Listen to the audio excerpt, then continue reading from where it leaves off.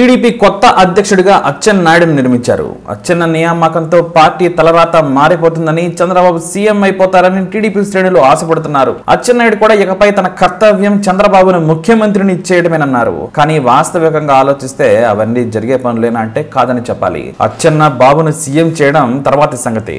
అసలు ఈ పదవితో ఆయనకు కొత్తగా పవర్స్ ఏమైనా వస్తాయా అంటే రావని ఖచ్చితంగా చెప్పేవచ్చు. ఎందుకంటే కుటుంబ పాలనలో నడిచే పార్టీ కుటుంబ పాలన కింద ఉండే పార్టీ పార్టీలో ఎప్పటికీ బయట వ్యక్తులకు అవకాశం ఉండనే ఉండదు. అచ్చెన్నాయుడు ఎమ్మెల్యే కావచ్చు.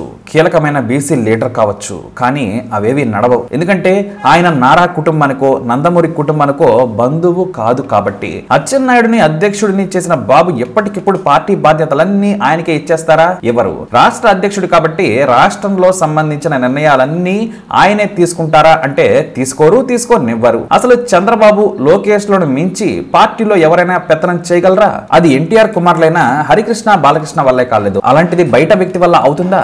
అంతెందుకు పాత అధ్యక్షుడు కళా వెంకటరావు గారిని తీసుకోండి? పదవిలో ఉండగా ఆయన ఎఫెక్ట్ పార్టీ మీద ఎక్కడైనా కనపడిందా? లేదు. అంతా కూడా జాతీయ అధ్యక్షుడు చంద్రబాబు జాతీయ కార్యదర్శి లోకేష్ కనుసన్నంలోనే కదా నడిచింది. అధ్యక్షుడైన పార్టీని మార్చగల అపరిమితమైన అధికారాలు ఉంటాయని ఎలా అనుకోగలం? అధ్యక్షుడు అధ్యక్షుడు అంటున్నాం కదా. రేపు ఎన్నికల సమయంలో అధ్యక్షుడు హోదాలో అచ్చెన్నాయుడు చూపించిన వ్యక్తులకు బాబు టికెట్లు ఇస్తారా అంటే ఇవ్వరు అది చంద్రబాబు లోకేష్ పరిధిలోని పని. ఇక ప్రధానమైన పనులు నిర్ణయాలు అన్ని కూడా వారి ఇష్టాయిష్టాల మీదే ఆధారపడి ఉంటాయి. కాబట్టి అధ్యక్ష పదవి అనేది అచ్చెన్నాయుడికి ఒక అలంకారం మాత్రమే. దాని ద్వారా పార్టీలో ఆయన తీసుకొచ్చే పెను మార్పులు ఉండబోవు. ఇకపోతే మాజీ మంత్రి ఎమ్మెల్యే అచ్చెన్నాయుడు టీడీపీ రాష్ట్ర అధ్యక్షుడిగా నియామకమైన తర్వాత దూకుడు పెంచే ప్రయత్నాల్లో ఉన్నారు. ఆ ప్రాసెస్లోనే భాగంగా గతంలో చంద్రబాబు నాయుడు లేవనెత్తిన రాజకీయాల అంశాన్ని మరోసారి తెరపైకి తీసుకొచ్చారు అమరావతిని రాజధానిగా వద్దనే వైసీపీ ఉత్తరాంధ్ర ఎమ్మెల్యేలు ఎంపీలు రాజీనామాలు చేయాలని బై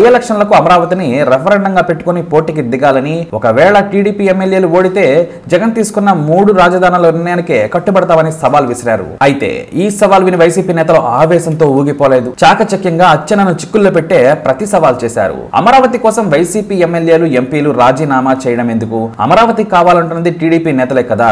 అప్పుడే వాళ్ళే రాజీనామాలు చేసి అమరావతి నినాదంతో ఉప ఎన్నికల్లోకి దిగండి. మేము కూడా పోటీ చేస్తాం. అప్పుడు జనం ఎవరిని గెలిపిస్తే వారి మాట నెగ్గుతుంది. అంటున్నారు. అంటే తమ నూట యాభై ఒక్క మంది ఎమ్మెల్యేల సీట్లు పదిలంగా పెట్టుకుని టీడీపీ గెలిచిన ఇరవై మూడు స్థానాలకు ఎసరు పెట్టారన్నమాట.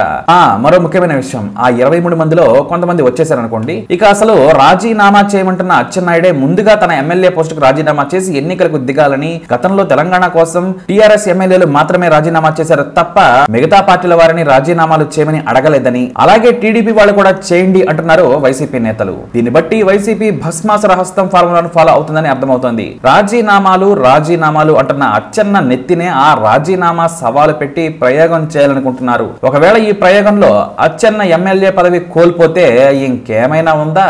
చంద్రబాబుతో సహా టీడీపీలోని అందరికీ ఫీజులు ఎగిరిపోవు మరి. ఇక ఆ తర్వాత ఏం చేద్దామన్నా కూడా సలహా ఇచ్చేవారే ఉండరు. ఇక టీడీపీ అధ్యక్షుడి పోస్టు సైతం పీకేసినా ఆశ్చర్యపోనవసరం లేదు. మరి అచ్చెన్న సవాల్పై వైసీపీ ప్రతి సవాల్. మీ కమెంట్ తప్పకుండా కమెంట్ ద్వారా తెలియజేయండి. ఈ వీడియో అప్డేట్స్ కోసం మై ఛానల్ ఫాలో అవ్వండి.